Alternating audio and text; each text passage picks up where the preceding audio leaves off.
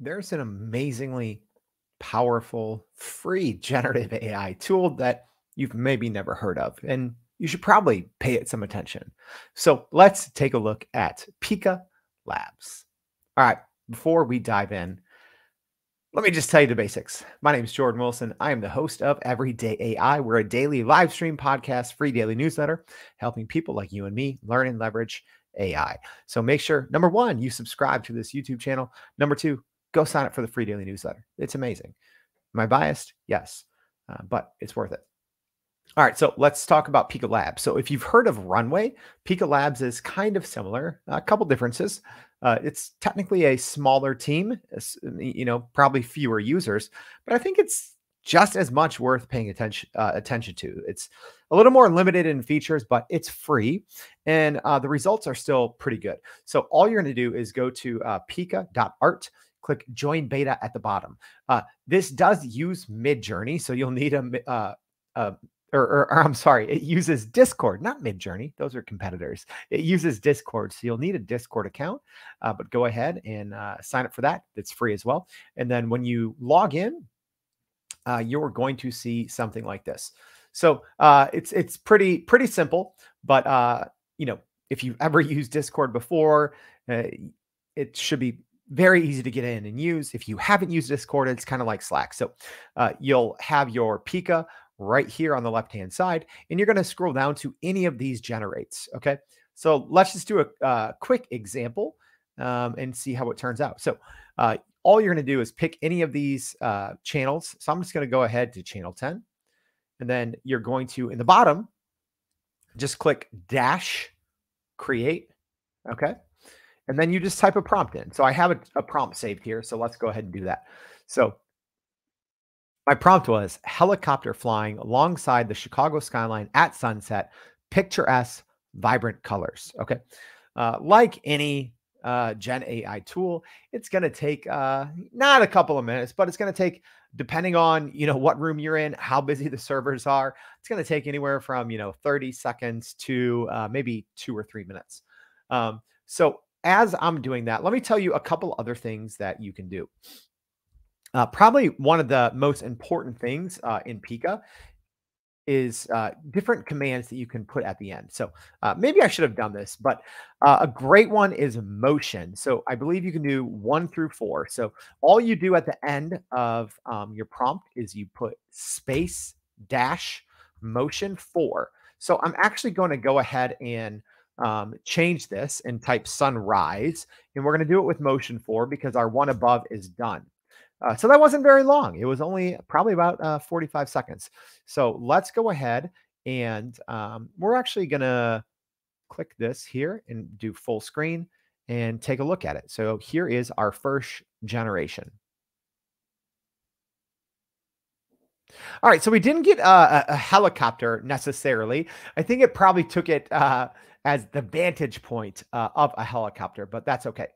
Um, so here's our next one. So we changed it to sunrise. So this one we had sunset, and then we added the uh, per, kind of the parameter of dash motion four. So that is the most motion. Um, and now I'm trying to think if we had to have a space between motion and four. I guess we'll find out. I guess we'll find out here. So we're going to give it a second. All right, so you'll see here kind of a, a, completely different generation. I like kind of you know the uh, the Chicago view here. You got the reflection on the lake. So let's go ahead and bring this up.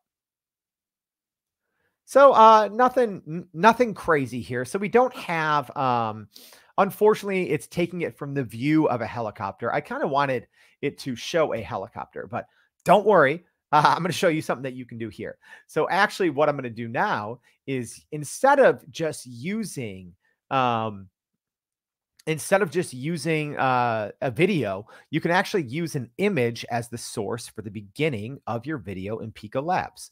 So I have this in Midjourney. This is uh, an image that I created. So I like this one, uh, number four right there. So I'm going to click upscale four. So again, this is in Midjourney. We have plenty of videos on our channel uh, for Midjourney, so make sure you subscribe and check that out as well. So I'm going to go ahead and uh, download this image. Great looking image here. So I'm going to open that in uh, right there. There's our image. in Midjourney. So I'm going to go ahead and save this. And then we're going to jump back into Pika Labs. And we're going to do the same thing here. So we're going to type in dash create. Okay. And then I'm going to use that same prompt. I'm going to do motion. I think I do motion four with a space. We'll find out. Uh, but then I can just hit space again. And then this one more button pops up. So when I click that, I can click image.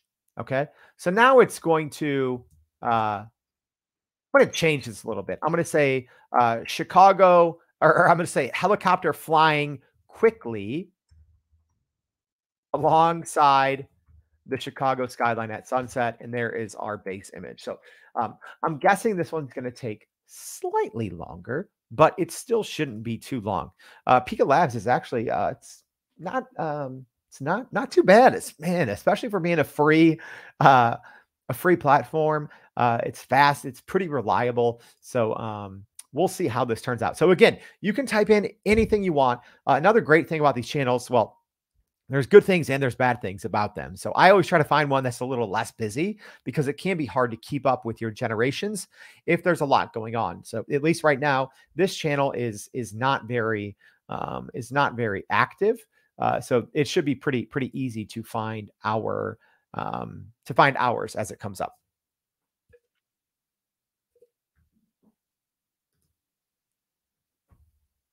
All right, looks like we're about done. We're about there. We go. All right, cool. Let's check it out.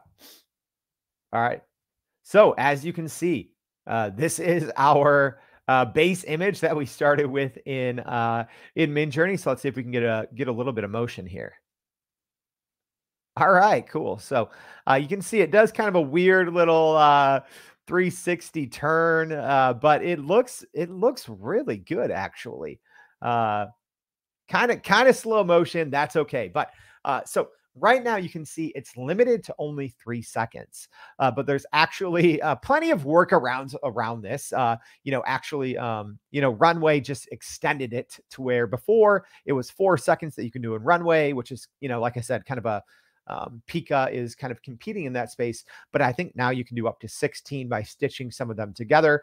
Uh, Unfortunately, with Pika, what you would have to do is you'd have to download this uh, video and uh, grab the last frame of the video, which you can do. There's a couple different uh, programs that you can do online, or you can just manually grab it and you would have to like kind of regenerate um, a couple different and string them together in an external program. So uh, it sounds it sounds like a lot, but if you want something basic, if you just want some movement to your images, if you want to push your creativity, uh, I think that uh, that Pika Labs is definitely worth checking out. Uh, especially, I think in terms of its functionality. Um, again, three seconds, you're not going to be able to create anything uh, breathtaking. Uh, however, even if you can just see uh, here on the on the homepage, uh, there's there's some nice looking short generation. So I definitely think it's worth checking out. Another thing worth checking out, our newsletter. Go subscribe, youreverydayai.com. Thank you for watching, and we hope to see you back for another AI in 5. Thanks, y'all.